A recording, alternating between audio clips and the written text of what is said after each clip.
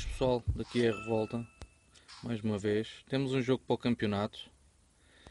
O adversário não aparenta ser muito forte, mas como já vos tinha dito no vídeo anterior, nesta altura da época a minha equipa começa, não sei se isto terá mesmo fadiga, eu já perguntei ao, Nordeus, eles dizem que não existe fadiga, mas eu acredito que exista, porque até à décima primeira jornada ainda não perdi jogo nenhum nas três competições e deve estar para breve a minha equipa começa a ir-se abaixo e a perder jogos com 2, 3, 4 jogos com equipas mais fracas. E vamos ver o que é que isto hoje dará. Como podem ver ainda tenho 8 vitórias. Aqui o Mus Sax também está, está a jogar muito bem. Uh, vamos ver o destaque. Que eu vou jogar o Massi, acho que é o Massi está aqui, tem 9 golos marcados, 13 sofridos. Vamos ver o que é que isto vai dar hoje. Ver se não é hoje que a minha equipa tropeça. Nesta altura da época já sei que todas as épocas tem havido sempre um, um percalçozinho. E vamos lá ver se a minha equipa hoje está... Portanto, as táticas que eu vou usar é normal, pelos dois flancos, curto, duro. Atenção que para jogar duro tem que ter a moral sempre no máximo. Contra-ataques desligado. E o resto normal. Vamos dar aqui mais posto de meio campo para ver o que é que isto vai dar.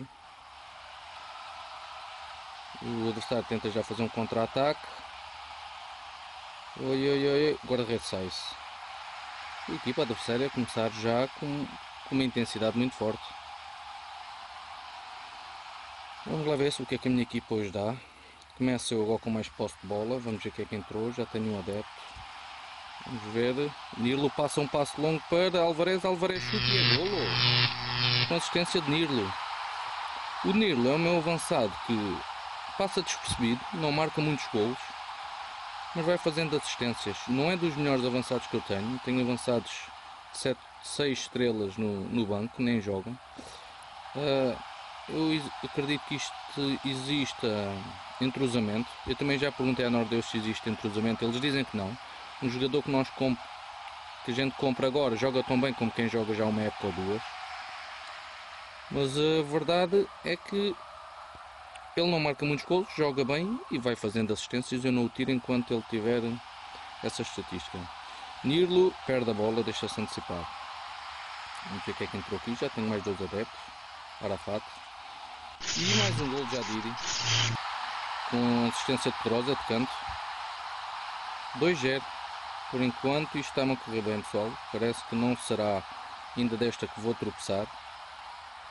Mas isto, se o resultado aumentar, eu poderei experimentar por os jogadores que jogam pouco, que serão bons, mas que não têm tido oportunidade no plantel, porque este ano estou a fazer uma experiência em termos de jogadores com, com quem, quem com quem joga melhor. E esta equipa, este 11, tentado a jogar muito bem, estão a dar-se bem todos a jogar. E então tenho estado ainda a jogar 9, lá está, que é o 9, chutes, chutes a fazer uma falha impressionante, com um cruzamento, um bom cruzamento. Vamos ver aqui as estatísticas, tenho mais posse de bola, 6 remates, 3 à baliza, o ainda não tocou um livre, Alvarez costuma ser especialista em livros, e golo mais uma vez. Ele não tem a capacidade de ser batedor livres, mas é muito bom a marcar livres. O público a chegar, Christian, Arafat e Teimar. Tamar. Se estiver a dizer mal o nome, peço desculpa. 3-0 aos 35 minutos. Barraza. Vamos ver, passa para Prel. Prel corre pela ala direita, cruza para quem? Para Nilo. Nilo faz mais assistência. Alvarez outra vez. Alvarez está imbatível hoje. E lá está, Nirlo não marca, mas faz assistências. E a gente quer é uma equipa que, que jogue bem toda junta. Aí, o adversário tenta assim para o contra-ataque, faz um mau passe, o intercepta a bola no meio campo, Nirlo tenta passar e Alvarez fora de jogo. Ainda não consegui perceber se o adversário está a jogar com subir as laterais, não. Temos que manter a calma e tentar analisar o jogo o melhor que podemos. Alvarez está com uma nota impressionante. O adversário vai tentar sair ao, ao Airan, passa para Calo, Calo pela ala direita, o que é que faz? Passa para o centro, interceptado, vou-se ir para o contra-ataque Alvarez, mas perde tanto tempo, Alvarez não sabe quem há de passar, chute, chute o que é que faz? Já está marcado, uma marcação muito em cima, chute vai, corre pela ala, tenta ir para a ala esquerda, não, o que é que vai fazer? Troca de flanco, para ele vai estar, estou contra a defesa. E a primeira parte termina pessoal, vamos ver o que é que diz aqui, estamos a dominar o jogo, continua assim. Vamos ver, eu poderia tirar escudos, dá mais posse de bola e dará mais oportunidade de gol, mas não vale a pena arriscar. Neste caso já está 4-0, como podem ver aqui. Estilo duro é importante, ajuda a tirar a bola, mas tem que ter a moral no máximo, porque se vocês tiverem só a moral muito bom, ele irá fazer penalti, isso é quase certeza. E Bianca tenta ir, mas a bola é interceptada por Pedrosa. E o de tenta ser o 3 para o contra-ataque, passa para Calau, Calau para Fanaten, para no meio campo, Sangue Surin, Banica o que é que vai fazer? 1 um para 1, um, passa o 3 para o meio campo, Luriano vai estar contra a defesa.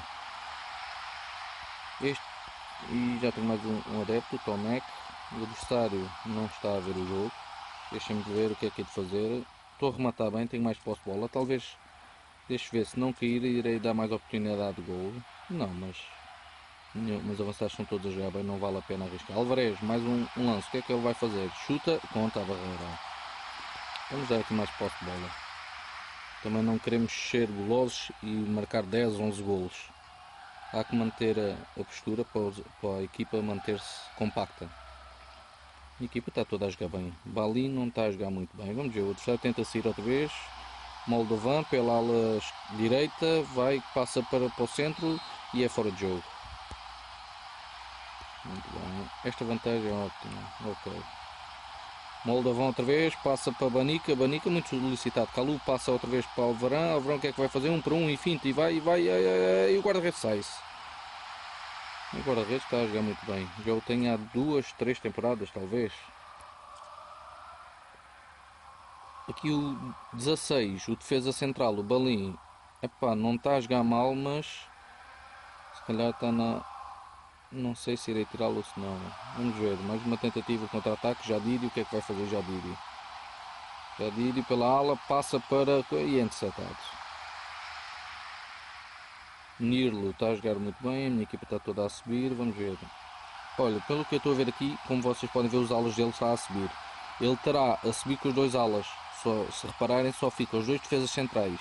Isto quer dizer que ele tem setas nos, nas duas alas. Oi, oi, oi, oi, e vai marcar. E está. Aí está. A conseguir marcar golo o adversário. Isto ainda não acabou o jogo, ainda falta muito jogo, vamos ver. 27 a bola, Barraza passa para Jadidi, o que é que Jadidi faz? Corre, tenta ir à ala, mas está muito marcado, o está com marcação em cima passa para Pedrosa, que é o defesa esquerdo, Pedrosa cruza e mau cruzamento. Mais uma tentativa, Barraso o que é que faz? Passa para o centro para chutes, o que é que chutes faz? Passa para Prelo, Prelo o que é que vai fazer? Chuta contra a defesa. A equipa está a começar aqui das notas. Tem mais posse de bola, mas está aqui as notas. Prelo, mais uma tentativa, o que é que Prelo vai fazer? Chuta de longe? Não. Vai tentar a ala? Não. Cruza para o centro, o chute se passa e a bola é interceptada. Mais uma tentativa. Barraza passa para Prelo. Prelo o que é que faz? Prelo o que é que faz? Finta, finta e chuta contra a defesa. Não estou a conseguir chegar à baliza. 20 remates, 8 à baliza. 80 minutos, vamos fazer aqui uma substituição. Dá oportunidade a outros. Vamos para o Cobete. Um jogador mais... Portanto, vamos ver aqui. E o adversário vai sair para o contra-ataque. O adversário vai sair para o contra-ataque. Vamos ver, que eu falhei o passe. Está no, no centro a ver se descobre algum jogador desmarcado e vai estar e a poste. Que defesa, mas a jogada continua. E outra vez o Moldavan ele está a insistir com uma força. Cruza Moldavan e é interceptado. A equipa está a começar a cair as notas. Vamos tirar aqui o meio campo. Não está a jogar bem. Vamos ver, vou tentar sair para o contra-ataque aos 86 minutos. Jadidi corre para a ala. O que é que o Jadidi faz? Passo para o chute, chute, passo para a direita e muito foi sempre a contrário. Mais uma tentativa de contra-ataque. Barraza. Barraza o que é que faz? Passa para Jadiri. Jadiri o que é que faz? Corre para a ala, cruza. Prelo. E não estou a conseguir chegar à frente. E não vou fazer substituição e não vou ganhar uma maleta. Não precisava de substituição, mas precisava de uma maleta. Mas pronto. Foi assim o jogo. Prémios, não dei prémio, como vocês veem. Tive uma receita de bilheteira 4 milhões, mais receita de competição 1 milhão, os sandais mais 1 milhão. Minha equipa. Colbete, não gostei do, do a jogar. Milhão em campo Alvarez, deixa-me lá ver aqui. 4 força. Tenho aqui, como vocês podem ver, o pessoal lá a apoiar-me. Agradeço o apoio deles. Vamos ver aqui as estatísticas. 64% de bola contra 20 remates e 8 foram à baliza. Mais 4 que foram gol dá 12 remates. Portanto, 8 nem, nem à baliza foram. O adversário teve 50% de eficácia. O adversário teve menos porcentagem de bola. Teve 9 remates. 2 foram à baliza. 50% de eficácia do remate.